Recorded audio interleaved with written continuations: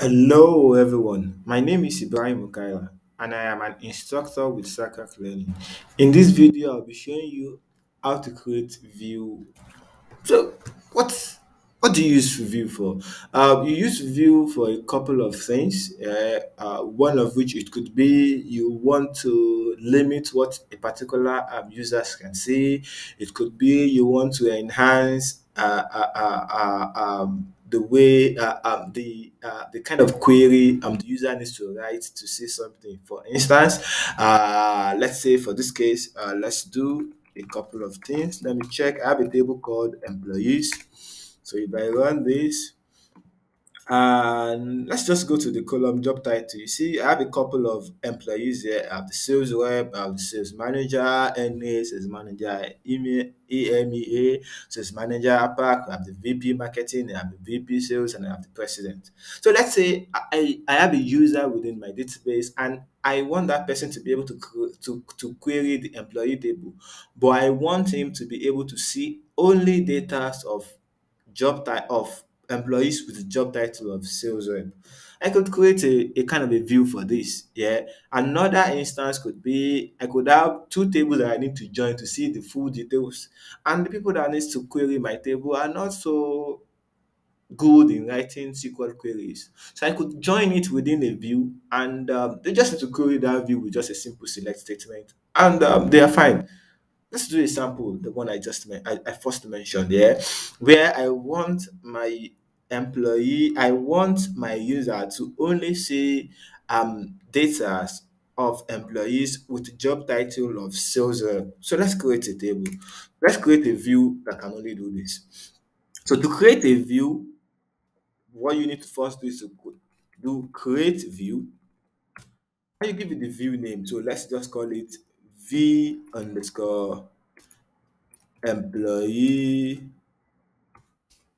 sales rep. What call this, and then I uh,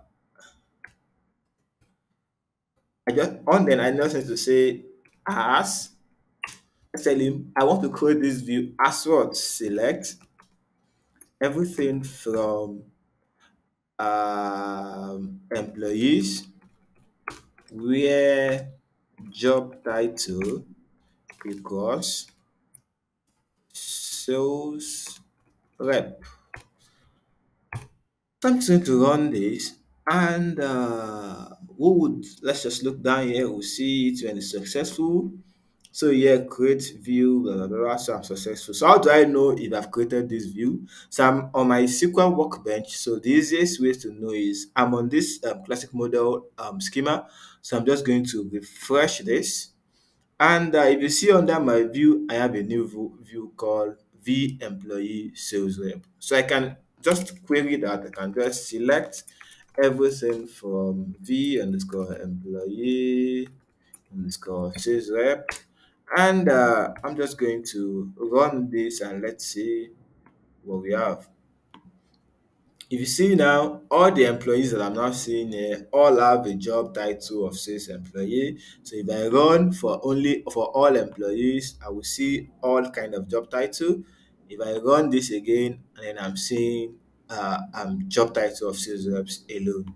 So View enables us to do that, and the user that is um, querying this uh, uh, uh, would not even know the difference if it's a view and a table they will create as if they are creating uh, uh, they are querying a table so the v i put is just a convention i use to be able to distinguish a table from a view so i normally start with v anything view with v so that uh, me as designer of my table as the administrator of, of, of the database i will know uh, whenever i see view starting v starting uh, any uh, any name so I will know this actually is a view. But me looking at it, I can't actually say uh, if it's a view uh, or, or, a table.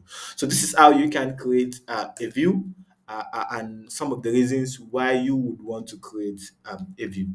So thank you for watching. And if you'd like to learn more about data sciences and databases, uh, kindly log on to www.zacraclearning.com. If you find this video helpful, like and subscribe to this channel and also drop your comment below.